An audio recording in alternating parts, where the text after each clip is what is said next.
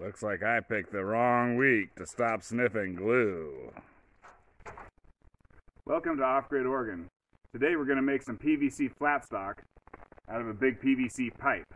And then for fun, we're going to make a pulley out of that. Let's see how good this pulley works, and let's see what breaks.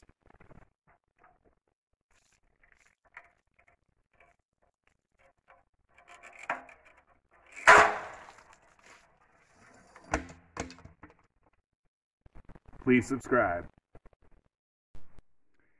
It wasn't the pulley that broke. It was my tiny bit of construction twine that just had one granny knot in it. Who'd thunk? In the video, you're going to see some of the PVC getting a little burnt and crispy. I think if you do it, you know, if you have the equipment at home, use a real oven, not a funky little camping stove oven that I have, and use a heat gun instead of a blowtorch. And uh, I think your stuff will come out pure white, real nice. I want to make pulleys that are two inches wide. So I'm going to cut off uh, a three inch strip here. And, you know, you could make like a perfect mark and do it all perfectly, and you could do, who knows, two and an eighth or something. If I do three inches, then I should have plenty. And I'll just use a Sawzall. Uh, hopefully it goes well. Let's see.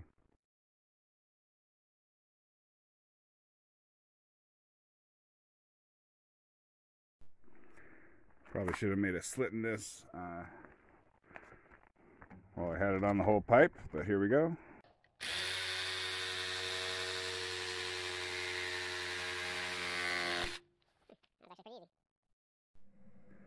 Okay, this is my little uh, portable oven that I got from garage sale. You can see right now it's about two, it's a bit over 200. Uh, we're gonna see what it takes to melt this.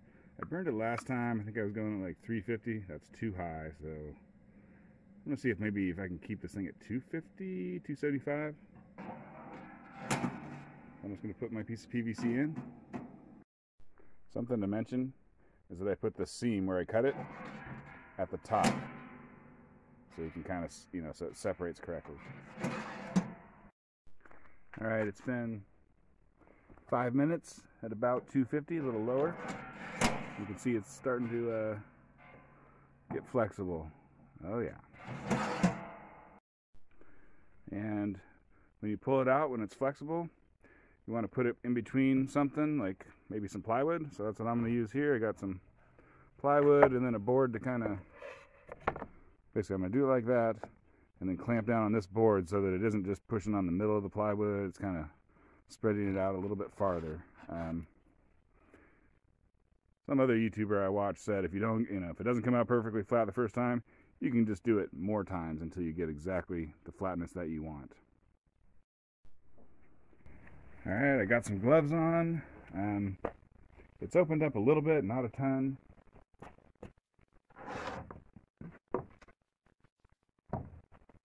Let's see how this goes. I don't want to burn it. I don't want to burn it. That's like 250 for 12, 15 minutes. Oh yeah, see it's flexible.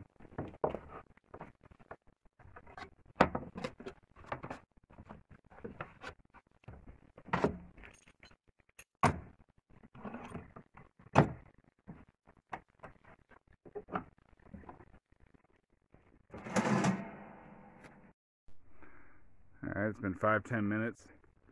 I think it cools off and becomes rigid in about one minute, but no reason not to let it go a little extra long. See how flat we got it.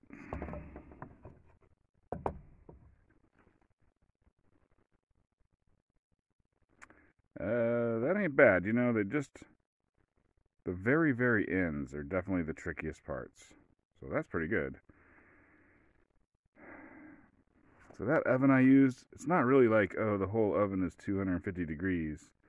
It's like there's a spot on the bottom that's very, very hot. I think I need to make a diffuser or something. And so, anyway, so this part's burnt.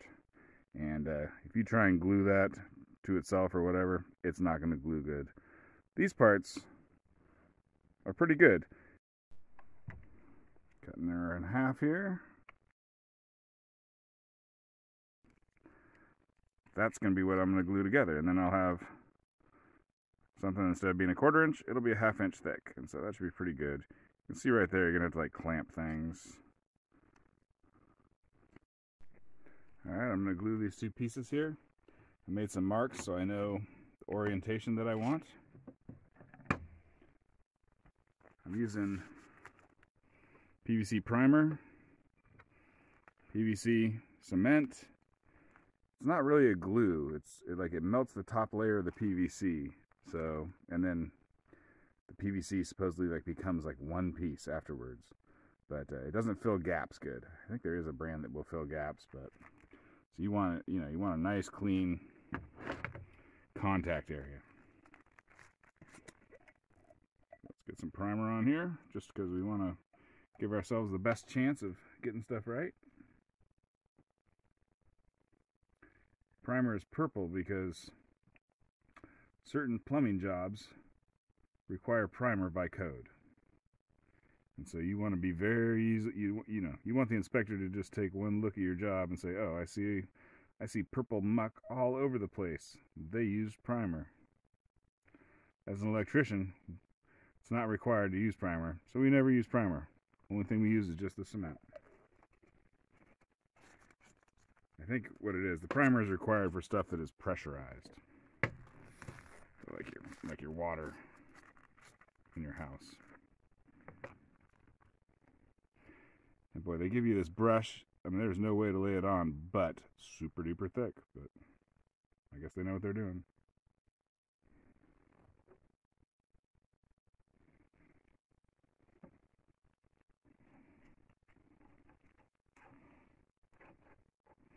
Gets all over the place, makes everything purple.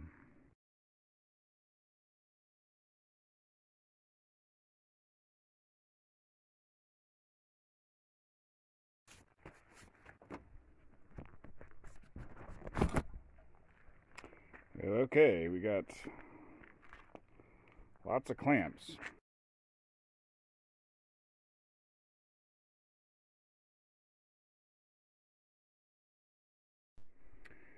Clamping down my double layer PVC. I got a piece of wood below it. Can't see it there. Uh, I'm going to use a one of my trusty Harbor Freight hole saws. It's two and a quarter inch, and the pilot bit is a quarter inch that's standard, and quarter inch works real good for stuff.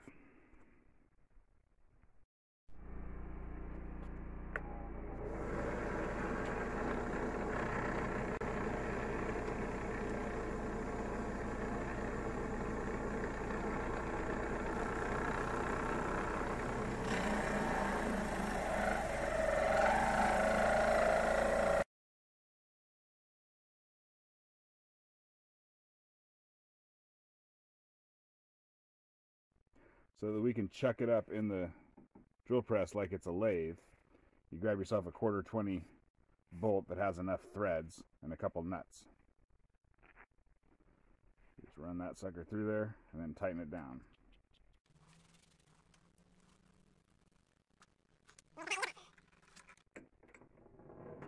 I just learned today. I made myself learn. So if you turn this thing, clockwise is tight. If you turn the top part of the chuck, counterclockwise is tight. So this one is the way you think it is, this one's the opposite.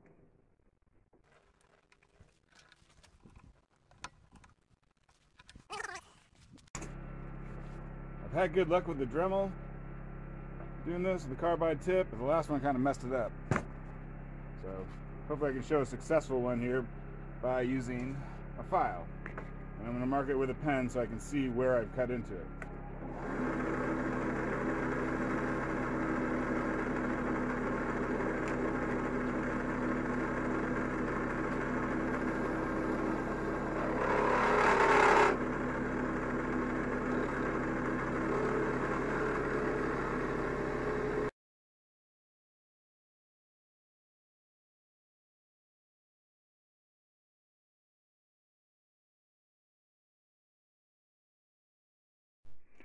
On the left is a pulley I kind of messed up with the Dremel.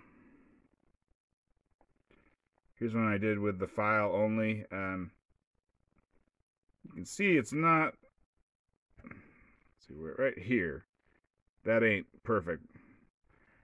And the reason why that is is I it took me multiple passes with the hole saw. You go in and out, in and out, in and out, and it makes the center hole get out of round. So you have to do it in one pass only. And then here's one that I did another time, and uh, it came out pretty good. And I think, you know, they'd all work depending on your application. So these have a quarter inch hole in them. So you can put a quarter 20 bolt through them and attach them to whatever you want. And this one, I drilled it out slightly and put in, uh, I think it's some 1 8 inch copper tubing. Now copper tubing is a little too small for the quarter 20 to go through, so I took a quarter inch drill bit and drilled out the copper part. Anyway, so I got a, a copper insert here, and so that part will last longer. Again, depending on your application, you may or may not need that. So now, what kind of rope or stringer are you going to use with it? Now, if you use thin string, like the thinner the string is, the more it's going to cut into the pulley instead of making the pulley spin correctly. So, you know, this kind of construction twine string is going to be probably too small to work with this stuff. Now, I think if you had like some baling twine, that would work pretty good. I don't think that's going to cut into it too much. Basically, if you get the biggest, that might be too big, but the biggest you can find that still fits in there, it's not going to cut down into the bottom of the groove. It's going to it's going to rest equally into all of it. So, let's see, like this one here, let's see. I think that would work. It's a little too big. So, something in between that and that would be perfect. All right, let's take a look at a couple of garage sale pulleys I have. I have this little metal one. It has like a brass wheel part. That's kind of cool. Got this guy that's not small. I think those wheels are probably about 12 inches each. And let's talk about the physics of pulleys and uh, the cost of them on Amazon. A pulley is like a lever, where the radius, the center point to the edge point, is the length of the lever. So if you got a big pulley, the big radius, then it's like having a big lever. It's something that really wants to turn your pulley around and you want your pulley to turn, that's what that's how the rope doesn't cut a groove in it. Now, if you got a small pulley, then you have a small radius, which is like a small lever, and so it it's not very good at turning the pulley. A lot of times the pulley will just stay there and not turn, and your string will just go past it. Which with a metal one, it's not that big a deal, but with these, it's going to cut a groove in them. And so I want to talk about Amazon prices. So this pulley is a decent size one and it's stainless steel. So, you know, that's probably like a $15, $20 pulley. This whole operation started when I was looking at Amazon pulleys. They have some real small ones, and they're like 10 of them for 16 bucks. And they all have bad reviews. Well, some people are like, these things are great. And, you know, they didn't try, they didn't work them very hard. But a whole bunch of the reviews are like, you pull on the string and the wheel doesn't turn. And the reason why is because they have such a small little pulley wheel. And so I was like, I want, you know, I want something that has like a two inch pulley wheel. And then now you're talking, you know, you're talking 35 bucks for each sucker. So that's, that's what happened. All right, I want to make uh, the other part of the pulley out of this strip of PVC. And I'm going to bend it around the pulley but I don't want it to be tight against it, so I'm going to add a washer here so that it'll just be a little bit thicker than it has, uh, a little bit thicker. Using boiling water didn't work good. It's not hot enough, so I'm going to use a torch to fix this thing. Using boiling water didn't work that good, so I'm going to use a torch and I'm going to clamp it with the washer in there so I get the exact spacing I want on that end. And I just got to fix that top end to match it.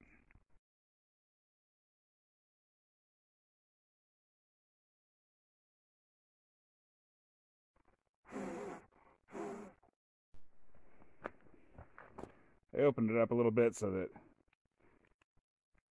it actually wants to open instead of clamp down. So I think more open is better, really. And now I'm going to put uh, a hole in it.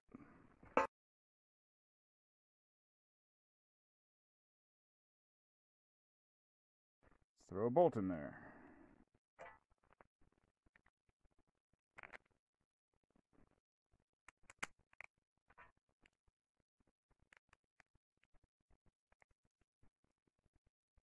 I got a lock nut, so it'll stay where we want it. I think I should have clamped this all together. Holding it by hand was not not strong enough. But there we go. You can run a string on that. And it keeps going. I think that's a good sign. I'm sure your 10th one will look a heck of a lot better than your first one. Actually, my second one. This is my second one. It's the worst out of the two. Normally a pulley has a swivel on the top, and you can make one out of metal or whatever, but usually it doesn't have to like spin around and around and around and around. It just has to, you know, if it can do 360 degrees, that's fine. So if you just put a string on there, that'll work. I guess you wind it up too much, you may have to unwind it. All right, here's a little test organizer thing I did um, out of the thin PVC. It looks like I got two of them held water. One of them leaks water slowly, and the other one leaks water real fast. You can see there's a hole in that one, so you would know before you even put it together that that one wasn't going to work. So I'd say that one doesn't count. So basically, two out of three held water, and then one out of three didn't. And you know, you couldn't tell the you couldn't tell before which one of the three wouldn't hold water. And that other one with the crack doesn't count. Alright, it's been like an hour, so again, this one doesn't count, but it's one out of three, and one of them just has a real slow leak. So I'm going to try and work on that and figure out how to get that to seal, because you might want to, I don't know, maybe you want to make your own cup. Put beer in it or something. Welcome to Off Grid Oregon. On this channel, we do semi manly stuff like turning PVC pipe into PVC boards.